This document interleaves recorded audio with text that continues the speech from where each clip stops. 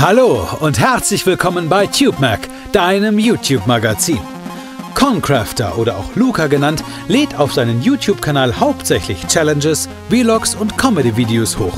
Damit erreicht der Student, der mittlerweile seine letzte Uni-Klausur hinter sich hat, 2,5 Millionen Abonnenten.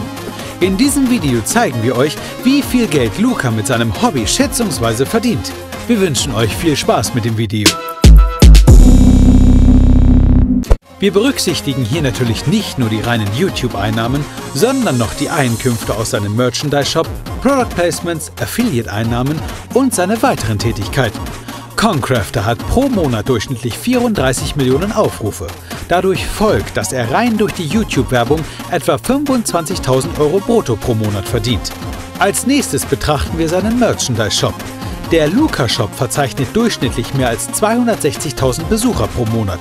Wenn wir davon ausgehen, dass 3% aller Besucher durchschnittlich für 35 Euro einkaufen und Concrafter selbst eine Provision von 15% erhält, macht er ca. 41.000 Euro brutto pro Monat. Als nächstes hätten wir seine Produktplatzierungen. Auf Instagram hat Luca 1,5 Millionen Abonnenten. Auf Facebook hat er über 300.000 Fans und auf Twitter folgen ihm fast eine halbe Million Leute.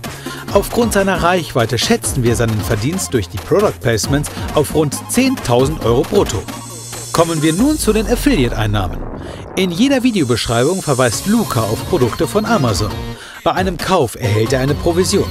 Bei seinen Klicks schätzen wir, dass er weitere 4.000 Euro brutto pro Monat verdient. Zum Schluss betrachten wir die Einnahmen aus seinen weiteren Tätigkeiten. Luca hat beispielsweise für den Kinofilm Angry Birds als Synchronsprecher gearbeitet. Zudem hat er bereits ein Buch veröffentlicht. Sein Buch Concrafter, neue Minecraft Facts und Comments erschien in einer Auflage von 45.000 Exemplaren und war bereits nach zwei Tagen ausverkauft.